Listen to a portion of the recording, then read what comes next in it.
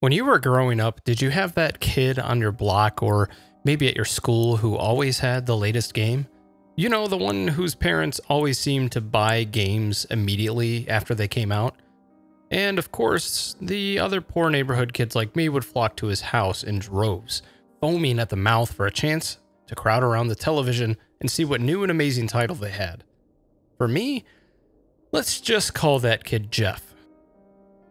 This is a true story of how an obscure game cursed my friend.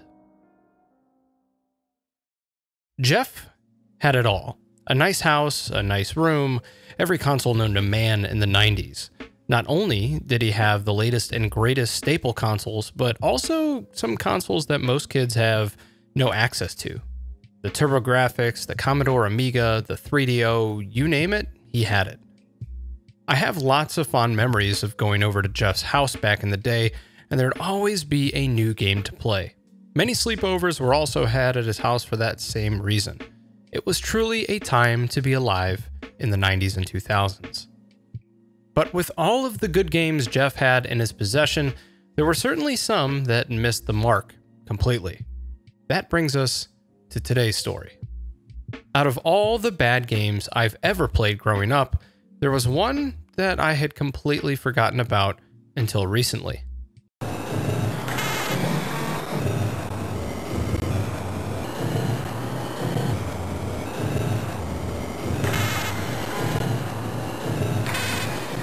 This monstrosity is known as Top Banana, a phrase I've honestly never heard of before. It's a platformer produced by Hex and Psycore for the Acorn Archimedes in 1991, which was one of those PC type consoles. The game was also eventually ported over to the Atari ST and the Commodore Amiga in 1992, which is a version that Jeff had owned. But this was a couple years after that, really close to the year 2000, if not after the year 2000, that we finally played it. The game's story, if you can call it that, is all about saving the environment, which doesn't necessarily have the best track record at producing games. To quote the game's synopsis from its own manual, our planet is under threat, not from slimy aliens or evil wizards, but from direct consequences of our own greed and stupidity. Every moment sees further demolition of the rainforest, more leaking nuclear waste, land floods caused by melting ice caps, and much needed food just rotting in locked storehouses. So your task is to combat these forces, which are worlds into oblivion, and you must address the balance through positive action. And it just so happens that you've got a super secret power of love. Yeah, I, I couldn't even make this stuff up. Honestly, when I was a kid, I had no idea what the plot even was, but based on how horrible this game affected me and my buddies, the plot doesn't matter. What about Top Banana is so haunting? Well, it all started the first time we ever played the game. See, the first obvious thing to note about Top Banana is the uncanny visuals. The background and the foreground all kind of blend together in a trippy, nauseating way. Based on some research I did into the title, it was actually part of the intent. Much like the lucid psychedelic feeling many music videos had years ago, Top Banana's developer actually used images from television and movies and plastered them into the foreground. They wanted to capture that same trippy feel and make something worthwhile and positive. But the result is anything but. One day, when me and the boys were at Jeff's house, he booted up this game his dad had brought home for the Commodore Amiga, a console that we barely ever knew existed or played. Given that none of the rest of us had that computer, we thought the game would be some super secret thing we were lucky to experience. Once Top Banana's title screen goes away, you're greeted with a highly disturbing array of images and are dropped into the world where KT must destroy the evil entities that promote pollution and all that other stuff I mentioned earlier. But right away, we all realized that this game was the farthest thing from fun. The graphics were horrendous, the way everything was mashed together on the screen made it extremely difficult to play. Not only that, but the enemies were pure nightmare fuel. The farther you make it into Top Banana, the weirder it gets. Your environment becomes more muddled, causing severe eye strain to the point where I remember not being able to physically look at the screen. On top of that were the incredibly strange bosses, including some dude's head with money flying around it and a weird robot. And the music was literally garbled to the point where it sounded satanic. After watching Jeff play it for an hour or so, we turned the game off and switched to something else like Mario Kart. I remember we all thought it was a little bit off putting and weird, and it even gave some of us the creeps. But perhaps no one was as affected by the game as Jeff was. You see, we all agreed to head back to his house the next day, which was a Saturday, but when I made it over there, I didn't see any cars in the driveway. Jeff wasn't home. A few days later, I had learned the truth. Jeff was in the hospital. He had suffered an intense seizure after playing video games the night after we left. It was serious enough that his parents decided to take him to the hospital, and the whole situation kind of spooked the rest of us when we found out. Seizures in video games are not terribly uncommon. I mean, in fact, some games have bold warning labels on the box, or even some text in the intro stating that flashing lights can be dangerous to somebody with epilepsy.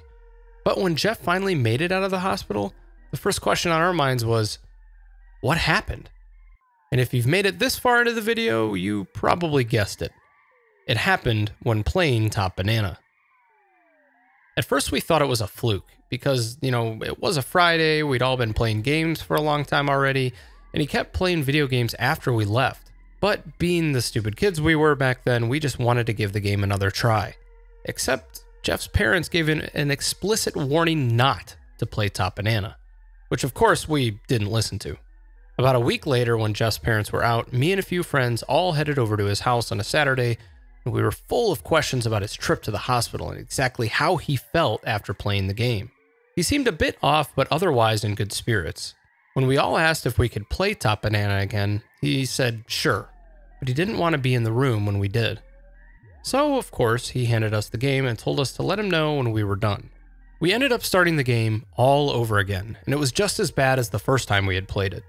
Horrible instances of eye strain and haunting sound effects and music. It was like a car accident. You couldn't look away, the game was just so bad. Except something happened this time that changed things between Jeff and us forever. After playing the game and cracking stupid jokes for a half hour or so, Jeff stormed into the living room where we all were and turned off the Amiga. I remember him yelling, like, you all need to go home now, or something like that. We all kind of laughed it off at first, but seeing the look on his face, it looked pretty serious. Maybe it was because he realized how upset his parents would be if they found out what we were doing, but looking back, I don't think that was the case. I think he was generally disturbed by the game. None of us ever played Top Banana again. In fact, I didn't even realize what the game was called until a couple of weeks ago when I was perusing the internet. Jeff kind of faded from the friend group entirely after that. We would still occasionally go over and play games with him, but he never seemed as into it as he was before that day. Eventually, he stopped having us over altogether, and we just grew apart. Being much older now, this game gives off such an odd feeling in my mind. Its legacy is forever tarnished, not only because of how bad it is, but how it haunted our friend Jeff back in the day.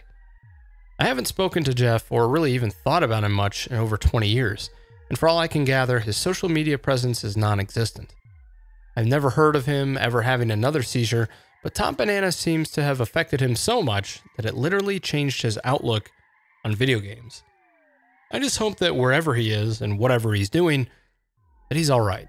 To my knowledge, a video game has never caused anyone to go blind or be killed from visuals or something crazy like that, but I'm sure it's landed multiple people in the hospital.